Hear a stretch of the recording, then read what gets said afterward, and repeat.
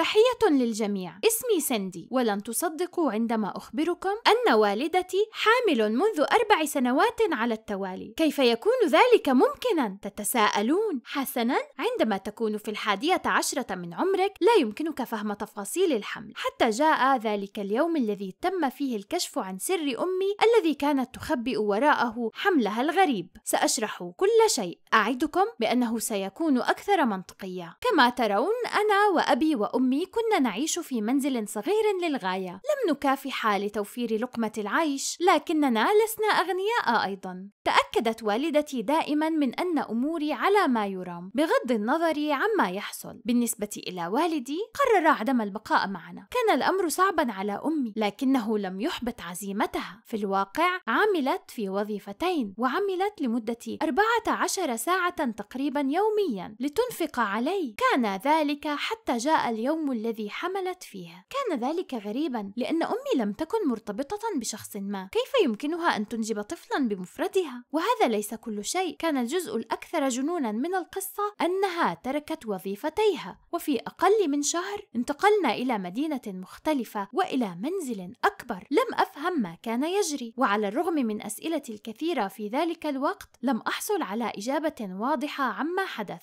كل ما أعرفه هو أننا تمكنا أخيرا من شراء الأشياء تماما مثل الأشخاص العاديين باستثناء حقيقة أن أمي كانت حاملا طوال الوقت منذ أن أصبحت ناضجة بما يكفي لفهم كيف هي حقيقة العلاقات، جلسنا وتحدثنا. سألتني إذا كنت أعلم ما هي الأم البديلة، قلت لا وأوضحت أن بعض الأشخاص لا يمكنهم إنجاب أطفال بمفردهم بسبب العديد من المخاوف الطبية لأحد الوالدين أو كليهما. يمكن أن تكون الأم البديلة أفضل خيار للزوجين لإنجاب طفل. ببساطة أمي أعارت جسدها للأزواج الآخرين ليتمكنوا من إنجاب الأطفال. كانت بصحة جيدة وكانت قوية وقد تحمل حملا صحيا تماما. عند سماع هذا الخبر كنت في حالة صدمة لبضع دقائق. إن مساعدة الآخرين في تكوين أسرة أمر مهم للغاية. انفجرت في البكاء. اعتذارا عن اعتقادي أنها كانت تكذب طوال هذا الوقت لكنني أعتقد أنني كنت أصغر من أن أفهم الحمل الذي يستمر لمدة أربع سنوات. اتضح أن الأم البديلة كانت أمرا قانونيا وكانت أمي تقوم بذلك مرتين. اشتركت أمي مع وكالة الأمهات البديلات ولهذا السبب كانت حاملا طوال الوقت لأنها تحمل أطفال الآخرين. في المقابل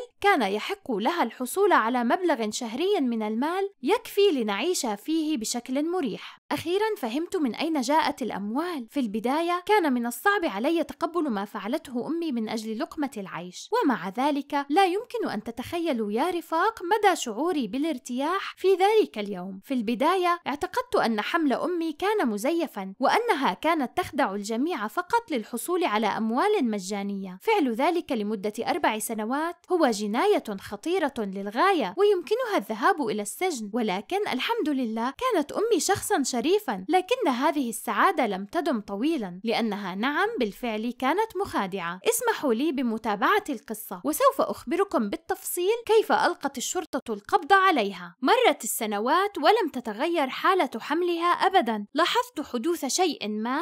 فقط عندما بلغت الخامسة عشرة من العمر. لم أعد فتاة صغيرة وبفضل الإنترنت يمكنني القول أنها كانت تكذب. والحق يقال لقد أصبحت متشككة للغاية في وضع أمي. لقد اعتقدت بقوة أن هناك ما تخبئه وراء حملها هذا. كنت على حق لكنني لم أستطع إيجاد إجابة. لذلك قررت أن أتحقق من الأمر. بالطبع لم يكن الإبلاغ عن أمي إلى الشرطة خيارا بالنسبة لي. سرها كان يقتلني ببطء. وعلى الرغم من أن أنني كنت سعيدة بأسلوب حياتنا الجديد المريح إلا أنني شعرت أنه ليس من حقنا. في عيد ميلادي الخامس عشر طلبت من أمي تفسيرا لما يحصل. عندما سألتها لماذا لا تتعبي أبدا ولا تمرضي؟ في حال لم تعرفوا يا أصدقاء فإن الحمل ليس بالأمر السهل. المرأة تكتسب الكثير من الوزن أثناء الحمل. كيف لي أن أعرف ذلك؟ أمي تضع صورة لنا على منضدة لها. كان عمري في تلك الصورة بضعة أشهر وكانت تبدو أكثر وزن بما يقارب يقارب الثلاثين باوند قرأت على الإنترنت أنه يجب على النساء الحوامل تناول جميع أنواع الفيتامينات أثناء الحمل. ناهيك عندما يبدأ البطن في النمو فإنهم عادة ما يشعرون بالمرض والتعب طوال الوقت. لم تكن أمي هكذا. طوال السنوات الأربع الماضية لم أرها متعبة. لم تأخذ أي دواء أو حددت موعدا مع الطبيب للتأكد من أن الطفل بخير. هذا غريب. في أحد الأيام جاء والدا الطفل إلى المنزل للتأكد من أن كل شيء على ما يرام. لقد تعاملوا مع أمي شهريا وأرادوا التأكد من تطور الحمل وفقا للجدول الزمني. لطالما أكدت لهم أن الطفل قوي وبصحة جيدة لكنها فعلت ذلك بالكلمات فقط وليس بالوثائق الفعلية. لقد شعرت بالضيق الشديد لأن أمي تعاملهم بهذا البرود. تتظاهر بأنها كانت تشعر بالدوار والضعف في كل مرة يقومون فيها بطرح أي أسئلة تتعلق بالطفل الطفل. أرادوا أيضا مشاهدة بعض صور طفلهم التي أعطاها إياها الطبيب لكنها أقنعتهم بعدم النظر إلى الصور لإبقاء نوع الطفل مفاجأة. أكدت لهم أمي أن كل شيء على ما يرام وأنها كانت فقط متعبة وتحتاج إلى الراحة. في اللحظة التي غادرا فيها المنزل كانت أمي سعيدة مرة أخرى. لم يكن ذلك منطقيا. كيف يمكن أن تشعر بالدوار والضعف منذ دقيقة واحدة والآن تصبح سعيدة فجأة؟ على أي حال بعد شهر واحد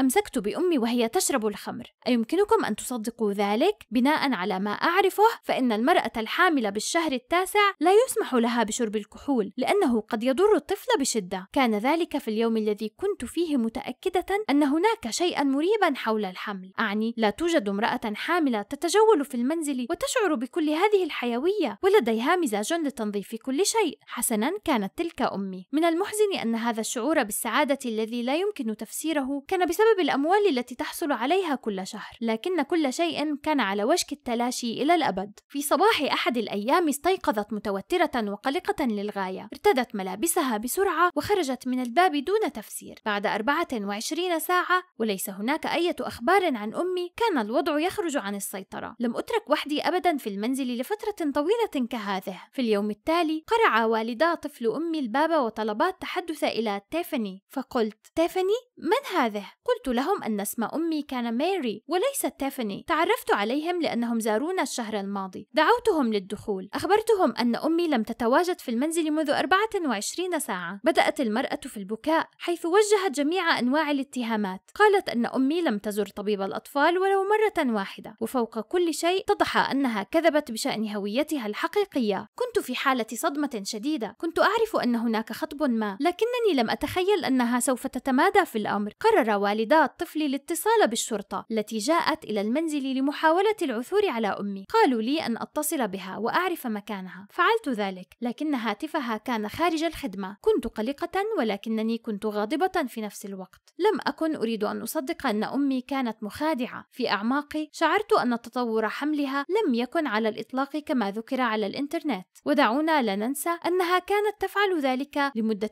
أربع سنوات. فجأة تلقى أحد رجال الشرطة مكالمة هاتفية يقال فيها أن سيارة أمي شوهدت على بعد خمسين ميلا من البلدة. في محطة وقود بعد محاولتها الهروب بالسيارة تمكنت الشرطة أخيرا من إيقافها. لقد قبضوا عليها وأحضروها إلى مركز الشرطة. ذهبنا جميعا لرؤيتها أنا والزوجين اليائسين اللذين خدعتهم أمي. كانت أمي تبكي وتتوسل لنا جميعا أن نسامحها. اتضح أنها لم تكن حامل. بكل بساطة كانت أما بديلة مزيفة على مدار السنوات الأربع الماضية. كان مخططها الرئيسي هو إبلاغ الزوجين بأنها قد أجهضت لكنها دخلت للتو في الشهر التاسع من الحمل. لقد فات الأوان للقيام بذلك. لم أستطع أن أصدق ذلك. لمت نفسي على الموقف برمته لماذا لم ألاحظ أنها كانت تكذب طوال هذا الوقت؟ ولكن كيف يمكنني ذلك؟ كنت أصغر من أن أفهم كيف هو الحمل. ناهيك عن فكرة الأم البديلة هذه. حاولت أمي الاعتذار عن أفعالها في المحكمة. من المحزن أن ما فعلته تسبب في الكثير من الألم والأذى للزوجين اللذين كانا يريدان طفلا بشدة. كانت فرصتهم الأخيرة ليصبحا